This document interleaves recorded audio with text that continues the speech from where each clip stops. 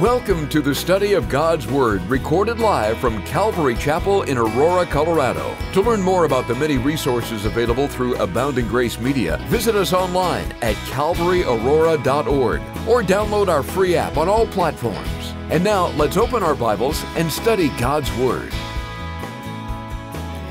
Well, again, good evening. And even for those on the radio, good evening. We get to talk about some good stuff tonight. Some really good stuff. And if you came in feeling down, this is one of those messages that I could almost guarantee uh, you're going to go out feeling much better.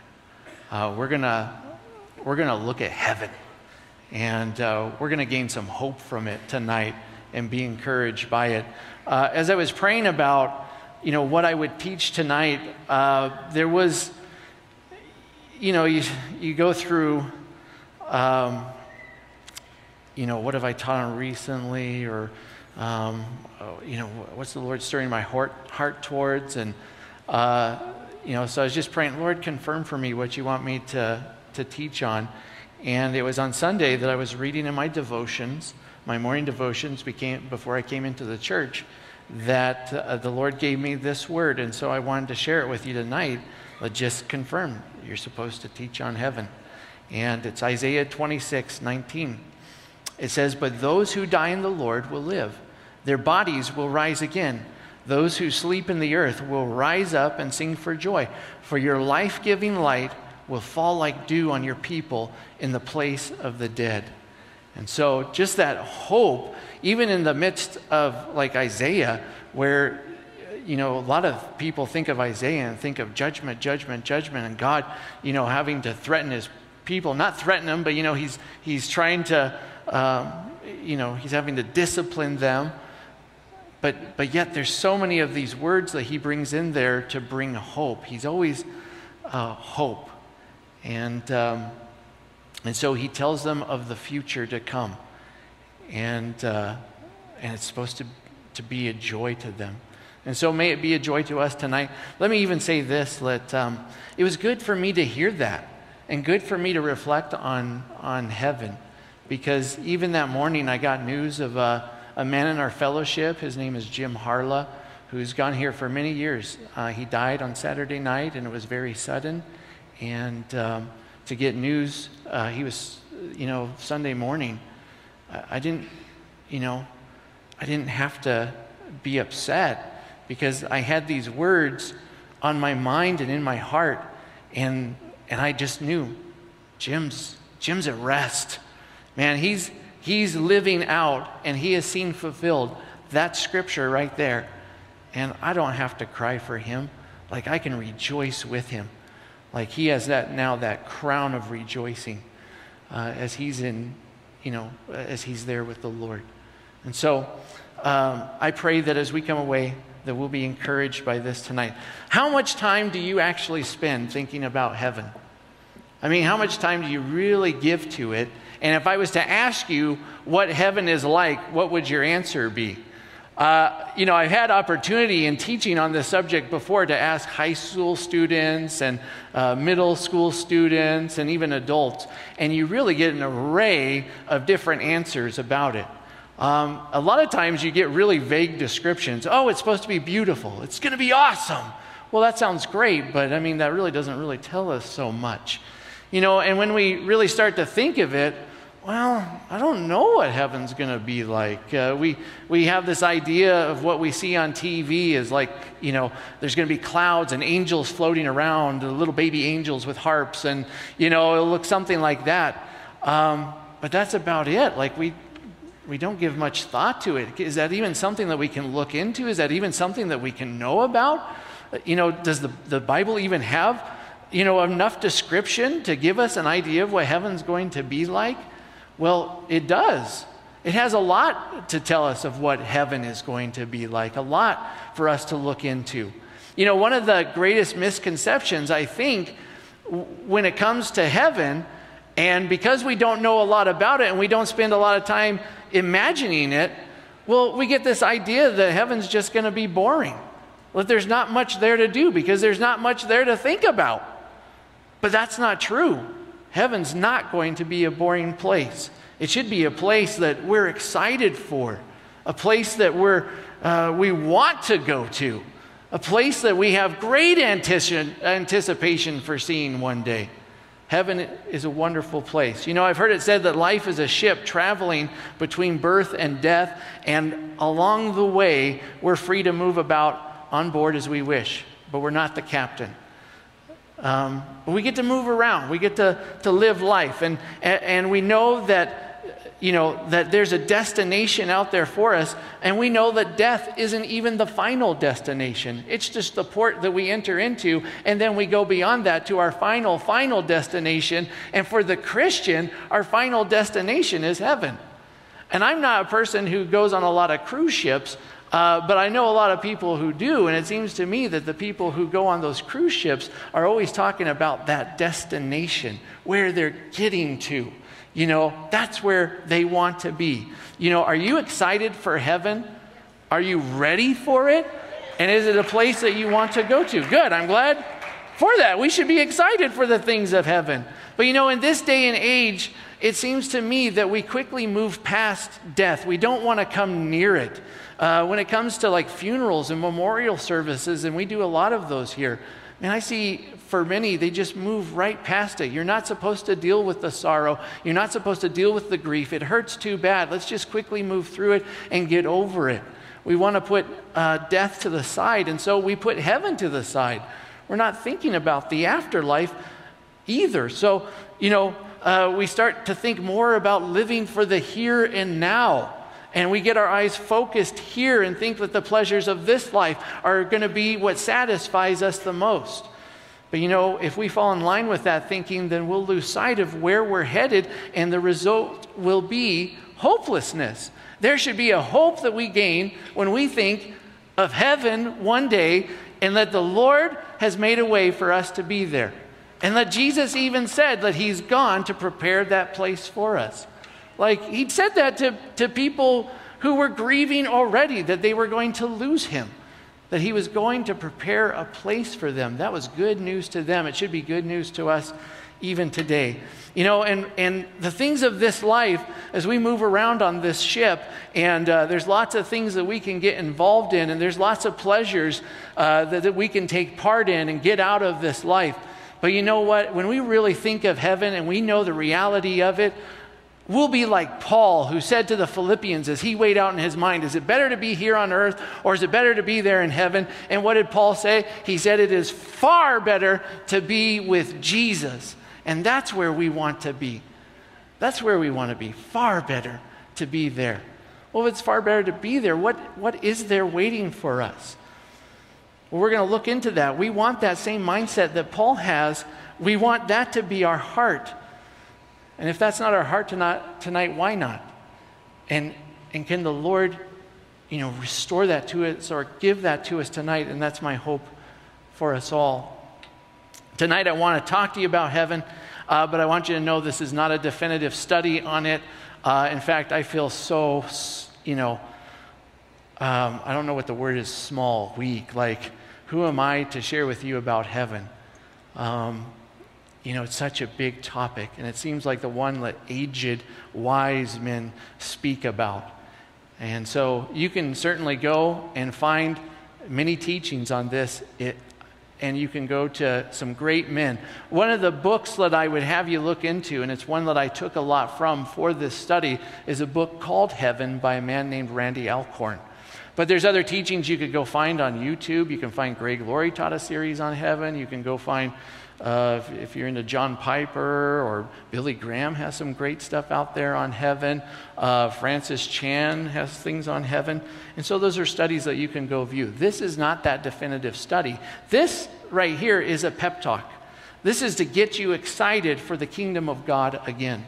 And this is something to whet your appetite so you're ready to feast on all of God's grace and His blessings for you. In fact, I think of the words of Christ. I, I, get to be, you know, I get to follow in my Savior's footsteps when I think of this because this is what Jesus proclaimed over Himself as He began His ministry. It's Isaiah 61 1. And in the presence of many in the synagogue that day, he read these and said, They are fulfilled in your presence. The Spirit of the sovereign Lord is upon me, for the Lord has anointed me to bring good news to the poor. He has sent me to comfort the brokenhearted and to proclaim that captives will be released and prisoners will be freed. He has sent me to tell those who mourn that the time of the Lord's favor has come, and with it, the day of God's anger against their enemies. To all who mourn in Israel, he will give a crown of beauty for ashes, a joyous blessing instead of mourning, festive praise instead of despair.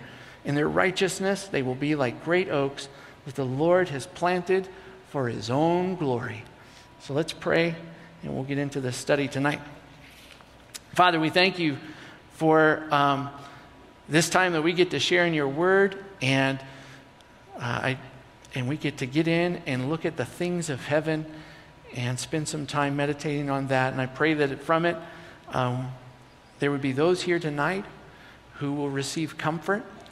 And for those who need comforted, they will be set at peace and be given peace. And Lord, I pray that we would be inspired, that uh, those who feel like, like maybe, you know, they're stagnant right now in their faith, and uh, they haven't been moving forward. I pray this would be something that would just put a flame, you know, light that flame and fan that flame again in them. But um, they'd be on fire for you and excited for the kingdom of God and ready to share it. Lord, I pray that we would be encouraged and that we would grow in our faith from this uh, study here tonight. And um, we'd be excited for the things that you have in store for us. And we thank you that you are a great, loving, and merciful God who would allow us a place with you in eternity. Who are we? But Lord, you're so good. You're so good to us.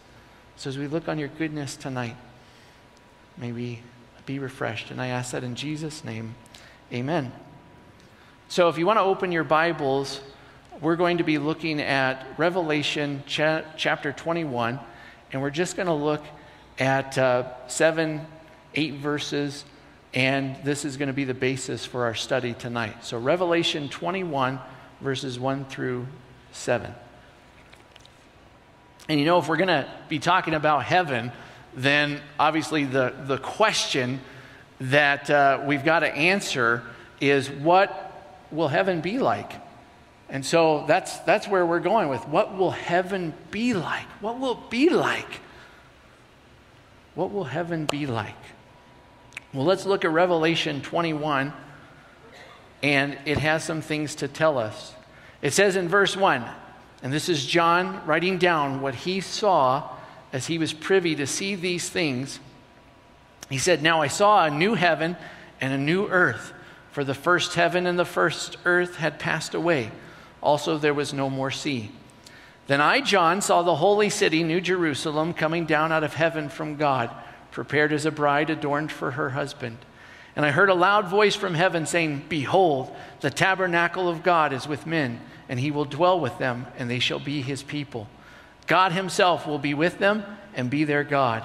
And God will wipe away every tear from their eyes. There shall be no more death, nor sorrow, nor crying there shall be no more pain, for the former things have passed away. Then he who sat on the throne said, Behold, I make all things new. And he said to me, Write, for these words are true and faithful. And he said to me, It is done. I am the Alpha and the Omega, the beginning and the end. I will give of the fountain of the water of life freely to him who thirsts. He who overcomes shall inherit all things, and I will be his God, and he shall be my son. These few verses, and even what follows into uh, the rest of chapter 21, and you go into chapter 22 as you finish out the book of Revelation, give us enough uh, to help us get a good idea of what heaven is like. And we can, we can even get a good idea just from the first verse that we saw there in chapter 21. As you look at verse 1, it says, Now I saw a new heaven and a new earth. And you can't get caught up on that word heaven. Uh, we've been, you might say, misusing that word. Here, when we look at heaven, uh, this is one of the three heavens that are described in Scripture. And so there's three heavens. And, uh, you know, uh, whenever you do a word study in the Bible, you're going to find that there's multiple meanings to one word. Well, this one word has, can have multiple meanings. It could mean, first of all, as we would look at um, our habitation here, that there's the heavens above us, which is the sky and the atmosphere, you know, where the clouds are and the birds fly. Uh, but then you go, off, you know, beyond that. And there is a second heavens. And what's the second heavens? But outer space, where the stars and the planets are. And then there's the heaven that often we, uh, you know, would refer to as the dwelling place of God. It's where His presence is. Well, when this says the new heaven, then what that's talking about is it's actually speaking about the sky above us. And that's, that's what it's talking about. And so we can't get caught up on the new heaven where we want to get caught up in to help us understand and get this idea of what heaven could be like and what we should look forward to is you got to look at the new earth. The new earth, that's our dwelling place. That's the place that we often think of as heaven when we think of uh, heaven, quote unquote, that place where believers spend eternity with God. When we think of that heaven, then we're thinking of the new earth.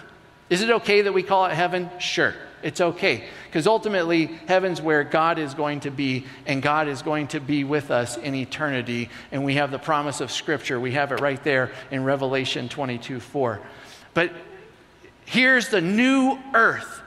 That gives us a lot to, to, to stir our imaginations and to start thinking about what heaven will be like.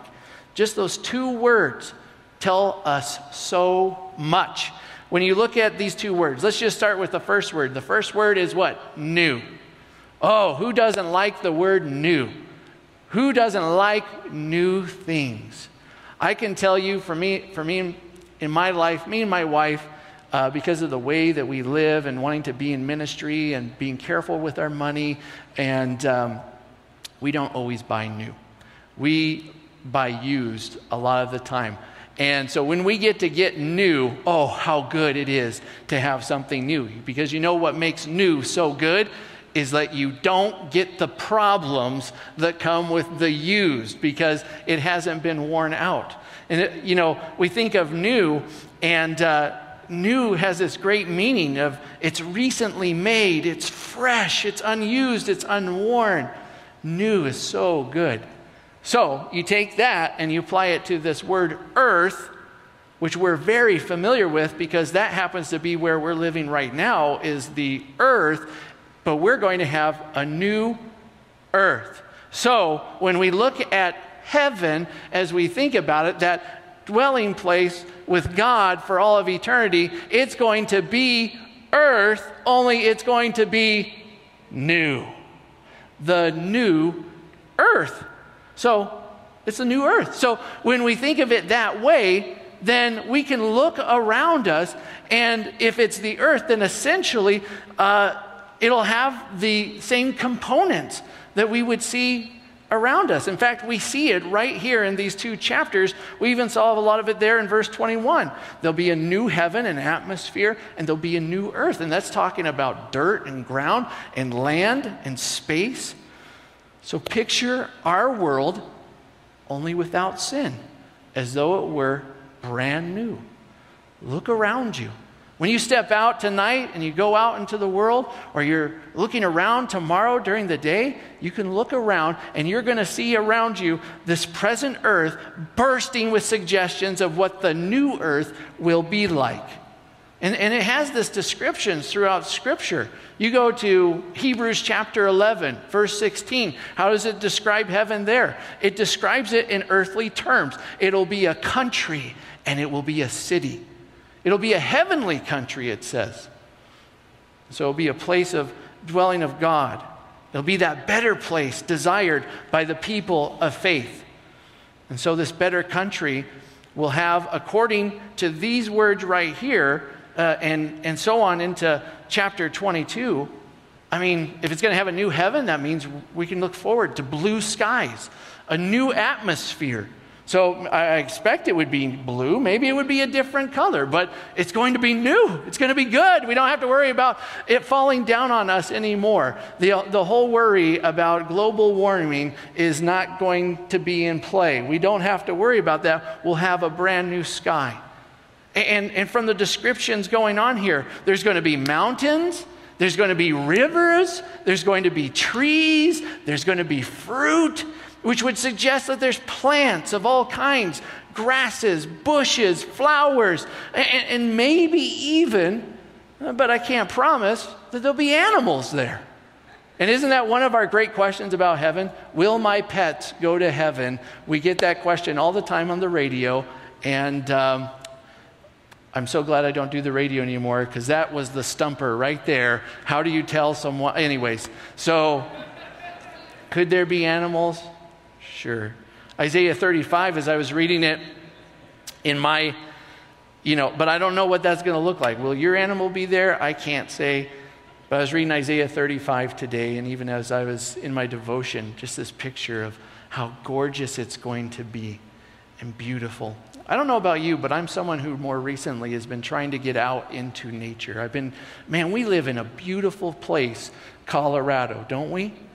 And if you notice in the scripture, we saw there that it says that there's going to be no sea. And I don't know why that is. Maybe it's because seas divide. Um, but there's going to be mountains. And for all you Californians, I'm sorry that California is not as heaven like as you would think it would be. But I think you should take John Denver's words into account because I think he had it right when he said the closest place to heaven on this planet anywhere is to be in Colorado. And so there'll be no sea, but there'll be water, there'll be rivers. In fact, there'll be that river that flows, you know, through the city, and it, it speaks of God's grace and we'll drink from it and we'll be refreshed and we'll have life forevermore. There will be cities with streets and buildings. So, even beyond the natural that we would look at, the dirt and the grass and the flowers and the plants, you know, we could look at even outside and see the bustling city around us. And that, that speaks of what heaven's going to be like. Because there's going to be a city. It's going to be like a city. In fact, the big city there is going to be the new Jerusalem that comes down. That's what the rest of chapter 21 talks about is the new Jerusalem and the glory of it.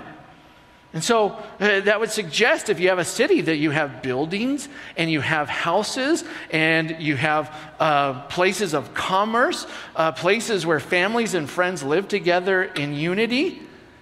And when you start to think of heaven in that way, of being that country and that city, these are places that, that, we, that we're going to be a part of and interact with.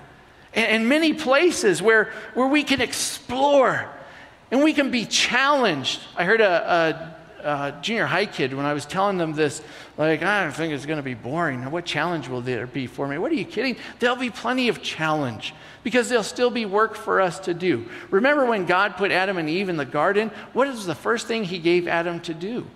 Was he put him to work and it was challenging. But it wasn't that challenging like, like this is hard and difficult. Oh, I hate this. You know, Adam didn't walk around like that. But the challenge that he had, it was so challenging, by the way, he had to get a what? A helpmate. Right? He had to get a helpmate. So it was challenging, but it was so rewarding and so good. Like, you know how it is when you have that great work day where you've accomplished so much, and you're like, that was good. It was challenging. That was good. That's how it will be, I think, in heaven. We can build and create. I mean, because those are the things that God instilled to us, because those are a part of who He is. And He's not going to steal those away from us now because they will forever be who He is. And so they'll be forever a part of who we are to create and build, to engage in work and play, to fellowship. And all of this will be done as part of our worship to the Lord, just like it was in the days of Adam and Eve. It will be an adventure. And I want you to know, and especially for the high schoolers and junior high kids in here, it will not be boring. It won't be boring. It'll be exciting. It'll be fun. Oh, and that gives me so much joy to think about We will be filled with fascination and excitement, pleasure that is pure and fresh and simple and good. But if, if that worries some of you folks who move a little bit slower and you're going, oh, that sounds like too much, uh, that's all right, because we'll still be there and we'll, we'll have rest and contentment, joy forevermore. There'll be peace. Peace. You know, in all this, of course, there'll be people. There'll be people all around us. And so we get to experience, you know, this physical landscape of the, you know, the, the earth and, you know, the New Jerusalem. But in that is going to be people. And we're going to still continue to experience relationships with people. What will people be like? Well, first of all, we're promised that we're going to have new bodies. We'll be like Jesus. Remember when he came in his glorified body um, to see the disciples. And you know what's interesting? One of the things that Jesus did with the disciples, and even in his Christophany with Abraham, I was just reading this the other night with my kids right before uh, you know Sodom and Gomorrah is destroyed. What does Jesus in this Christophany do with Abraham? He eats with him. And so they'll be eating. In fact, we'll, we'll be able to eat from the tree of life, which will be there for us to partake in. And so we'll still have these physical bodies, these physical bodies. Fig- and so we'll have still interaction in that way. You know, people help shape who we are here. So, what will relationships be like there? Well, we'll still know our loved ones, certainly. And only the thing is, is that we'll get to know them better than ever. Better than ever. Will we have our enemies there? Because let's face it, you know, there's some people in the church we don't get along with so well. But will they be there? Sure. Will any of that junk matter? No. And we'll have fellowship and it'll be good. Big question that was asked, and I was surprised that high schoolers asked this question when I was teaching on heaven Will there be marriage? Yes and no. Yes, because we see even again in these chapters, if you were to continue on, but even we got a piece of it there in the verses we read, that Jesus is our groom and we, the church, are his bride. So, yeah, marriage, because we're going to be married to Jesus, right? In perfect union with him. But Jesus had said that the institution of marriage wasn't going to be needed among people anymore. And, uh, you know, that might frighten you, but, you know, we're still going to belong to one another. We're still going to have deep relationships. None of those are going to go away. So, husband and wife, those will still be, I believe, the first relationships that you have there. You know, you're not expected once you get to, to the new earth that you're going to know everybody. You can't know everybody because you're not omniscient. You know, you're not ever present everywhere. That's God. So that's part of eternity is we're going to be getting to know people, but who are you going to be with first? The people you already know. And who's the person you know best? Jesus. But, but in that personhood, in the human, who do we know? Yeah, our spouse. And so that's who we're going to get to know. They'll be, you know, we'll, we'll belong to Jesus, we'll still belong to one another in perfect unity. But deep relationships won't end, they'll grow and they'll get deeper. Peter Kreeft, he writes this, and I love to think of this. There are only six things, he says, that never get boring on earth. Six things that never come to an end knowing and loving yourself, knowing and loving your neighbor, and knowing and loving God. Since persons are subjects and not objects, they are not exhaustible. They are like magic cows that give fresh milk forever. The two great commandments that are our job description for life here in both this world and the next express this plan. We must love God wholly and we must love our neighbor as ourselves. And in order to love, we must know, get to know as endlessly as we love endlessly. This never gets boring, even on earth. Getting to know and love more and more someone we already know and love, it is our clue and our preparation for our eternal destiny of infinite fascination. In other words, one of the things that we're going to get to explore is the people around us. And, and people are exciting when you get to know them. The more you explore them, um, the, uh, I mean, how much more joy do we receive from that? You're going to have eternity to get to know people and your, your best friend, your, um, your wife, your husband, uh, spending eternity getting to know them. But that's something you should already be doing here. You know, isn't that true in this life? I meet people who are like, we've been married 50 years. You know, my, I think my parents might be that way. Uh, you know, we've been married 50 years and you don't know that I like chocolate ice cream. You know, like there's just some things that we don't, we can't know, but we're going to know. Well, we have all these great things in heaven to look forward to. Uh, you know, the new earth and the new Jerusalem and these relationships that we're going to get to have with people and new bodies to enjoy it. But you know what's exciting too? Is all the things that aren't going to be there. So, what will heaven be like without sin? Well, the book Heaven has a great list, and I've added to it a little bit. Just think about this there will be no death or pain or suffering. So, there'll be no need for funeral homes, abortion clinics, or psychiatric wards.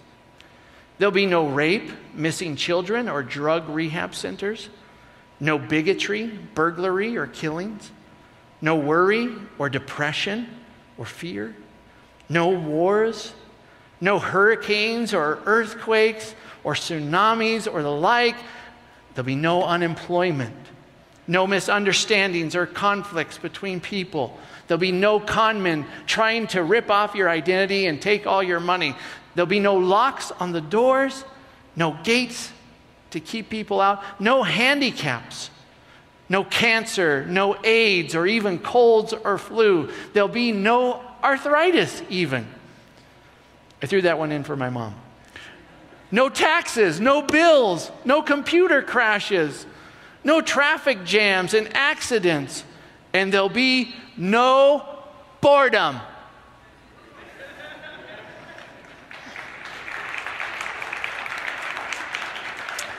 We'll have close relationships, but no cliques. Laughter, but no put downs. Any of our jokes won't be at other people's expense. Intimacy, but no temptation to immorality. No hidden agendas, no betrayals. Imagine mealtime, mealtime gathered together, and nobody has to rush off to do anything. We have eternity to enjoy one another. We'll spend that time telling stories and we'll share in laughter and joy. And we can do it all without a fear of insensitivity, inappropriate behavior, anger, gossip, lust, jealousy, hurt feelings, arguments, or anything that eclipses joy. That's heaven. You know what else won't be there? Surprisingly, is there'll be no temples there'll be no church. And you know why? Because we don't need to go to a place to be drawn into the presence of God because we will have His presence always. Always in His presence. So, you know, those are great things that we've talked about. But the best part is this, and it's the real beauty of heaven, is God dwelling with man. We get to be with God, and He comes down to share in life with us and give us life. And God dwelling with man is the central goal of the redemption plan of God. And there it will be fulfilled. God dwelling with man. The Bible begins and it ends with God dwelling with man, being with us and us with Him. We will be with God and we will see God uh, just like it says there in Revelation 22 4, they shall see his face, and his name shall be on their foreheads.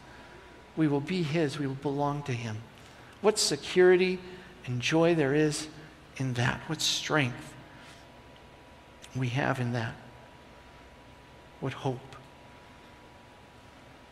I like how Randy Alcorn said it. He said, To look into God's eyes will be to see what we've always longed to see the person who made us and for whom we were made. And we will see him in the place he made for us and for which we were made.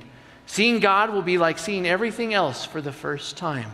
We will discover that seeing God is our greatest joy and life itself. Every other joy of heaven will be derivative, flowing from the fountain of our relationship with God. Beholding and knowing God, we will see ourselves and all other people and events through God's eyes. We will spend eternity worshiping, exploring, and serving our great God. We will see his breathtaking beauty in everything and everyone around us. And that brings me great joy, and I pray it does you too. Oh, to see God, to know him, and to be known by him. I don't know about you, but I, I feel so misunderstood in this world.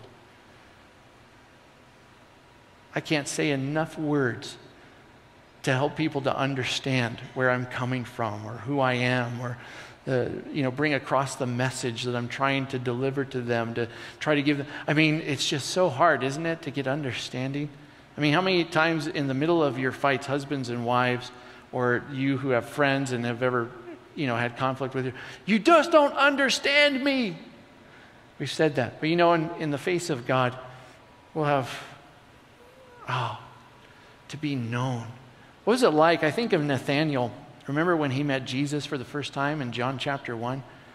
And uh, Jesus said, Ah, what did he say? Something like that. You're a man of strong faith, you know? And he said, How do you know me? Well, I saw you under the fig tree. Whoa. You know, like what Jesus was saying is, I've known you. I know you. Man, to be known by God. And then all the questions that I have about God and to know Him. What joy, what pleasure we'll have in that. You know, if heaven is a reality to us now, well, how will it change the way we live now? I know the effects that it has on me because the more that I think of heaven, I see the world as it really is. And uh, I'm, I'm losing my love for it. Because there's something better for me. You know,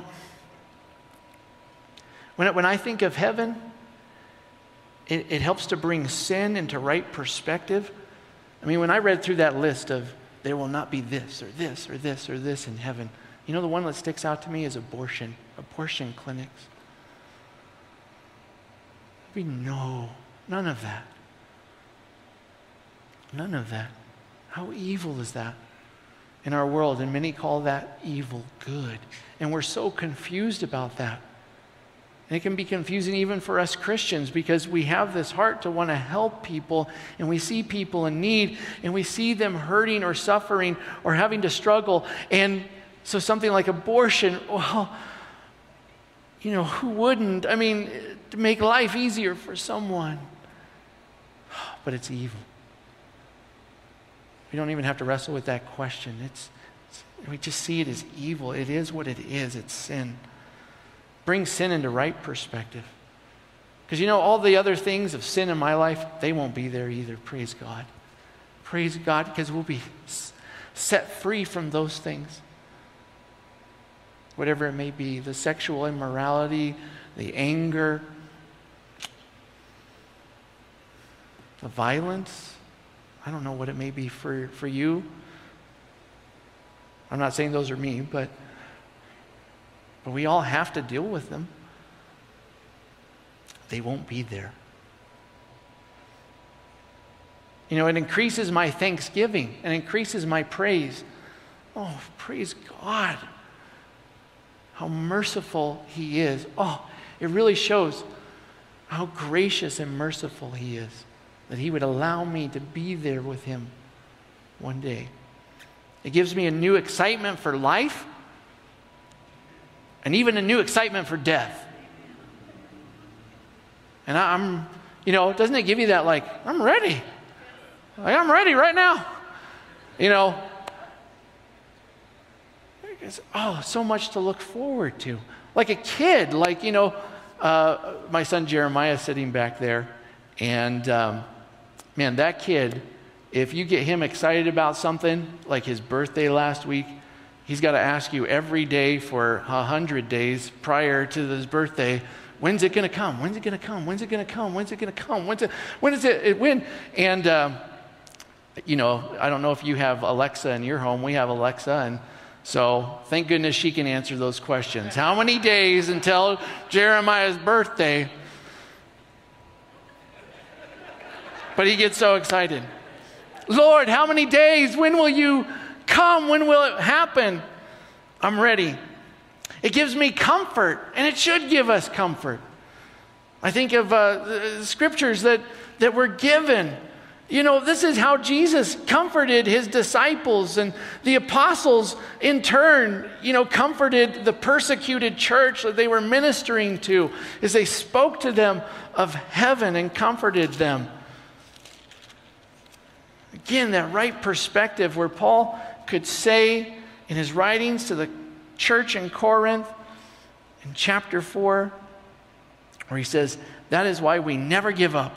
Though our bodies are dying, our spirits are being renewed every day, for our present troubles are small and won't last very long, yet they produce for us a glory that vastly outweighs them and will last forever. So we don't look at the troubles we can see now, rather, we fix our gaze on the things that cannot be seen. For the things we see now will be gone, but the things we cannot see will last forever. What a great comfort. You know, and when I think of heaven, and, um, I think I, you know, one of the reasons why we started a study on heaven for the high schoolers is because we're going through Paul's letters. And Paul, when you read 2 Timothy, that's his deathbed letter. He is writing that knowing he is going to die soon, but he has this great outlook because he's looking ahead to heaven as he finishes out that letter. And he's not like in despair. He's not ready to give up. He has this determination to finish well. And he's even pressing Timothy Timothy, you finish well as, as well. And so, man, it should, as we determine to finish well this life, that the Lord has given to us, I want to run with purpose in every step. I think of the words of Paul, where he said, Don't you realize in a race everyone runs, but only one person gets the prize? So run to win. All athletes are disciplined in their training. They do it to win a prize that will fade away, but we do it for an eternal prize. So I run with purpose in every step. I am not just shadow boxing. Purpose in every step. When I think of heaven, it gives me a new zeal to share Christ and invite others into God's kingdom.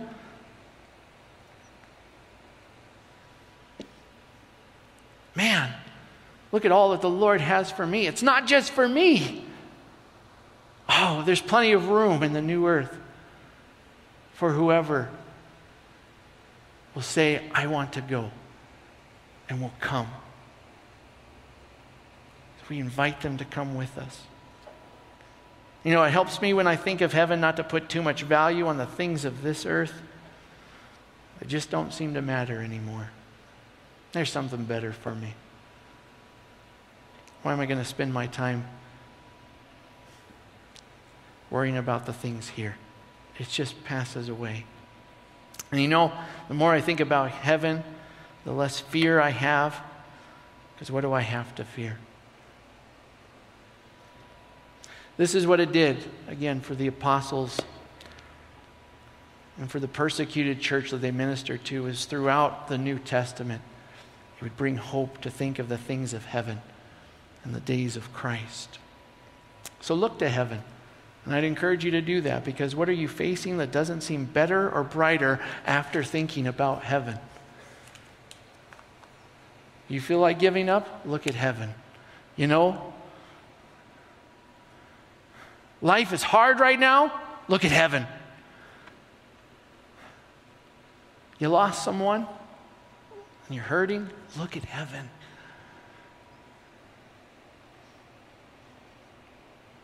There's something that's out there waiting for us. It's beautiful. Whatever it may be, look to heaven. And as you look there, who are you going to see? Because there's only one way to the Father, and that's through Jesus Christ. So as you look to heaven, you can't help but look to Jesus as you look there. As you look there, you'll find hope. You know, verse 7 and 21 says here Who is it that inherits all these things? It's he who overcomes. So, heaven, the new earth, is for anyone who overcomes. And what that means is this those who are victorious receive heaven. So, all who are victorious will inherit these blessings that we talked about here tonight. So, how do we be victorious? Well, our victory is in Jesus Christ, who showed by his resurrection that he has victory over sin and over death. And he leads us in this life. 1 Corinthians chapter 15, verses 50 through 58 is where we'll finish. And it says this What am I saying, dear brothers and sisters, is that our physical bodies cannot inherit the kingdom of God. These dying bodies cannot inherit what will last forever. But let me reveal to you a wonderful secret. We will not all die, but we will all be transformed. It will happen in a moment, in the blink of an eye, when the last trumpet is blown. For when the trumpet sounds, those who have died will be raised to live forever. And we who are living will also be transformed. For our dying bodies must be transformed into bodies that will never die. Our mortal bodies must be transformed into immortal bodies. Then, when our dying bodies have been transformed into bodies that will never die, this scripture will be fulfilled. Death is swallowed up in victory. O death, where is your victory? O death, where is your sting? For sin is the sting that results in death, and the law gives sin its power. But thank God he gives us victory over sin and death through our Lord Jesus Christ. And we will take upon us the crown of victory, the crown of righteousness, the crown of blessing, the crown of rejoicing, the crown of life that's ours. And it's for anyone who calls on the name of Jesus Christ. You know, these are good things to look to. You know, when we, sometimes I feel like I'm, I've got to be careful with high school students that I'm not telling them, come to Jesus so you can have a good life now. There's a life that He's prepared for us and has prepared us for. I want them to look ahead to that. That's what that victory that Christ has had over sin and death, that's the reward that is ours and we look ahead to it with joy and anticipation and with hope. Let's pray. Father, we thank you for tonight and the things of heaven that we can look upon and find hope. And Lord, I pray if there's anyone here tonight who does not have the assurance that they will receive the reward, Lord, they'll come to Jesus Christ tonight, calling upon his name that he may crown them with the crown of life. Lord, that they would know that victory over sin and death. They'd be ready for that eternal kingdom that you have in store for all those who will come to you in Jesus Christ.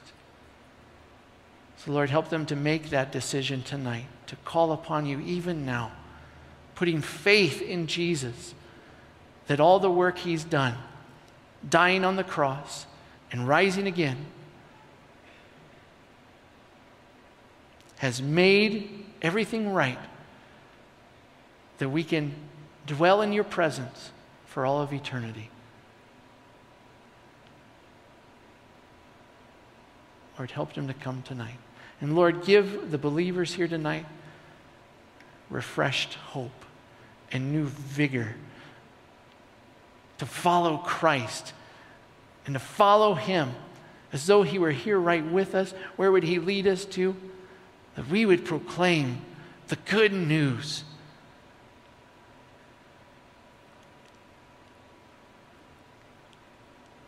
Lord, may we be willing to go. Make us willing. Give us a new excitement and joy for it.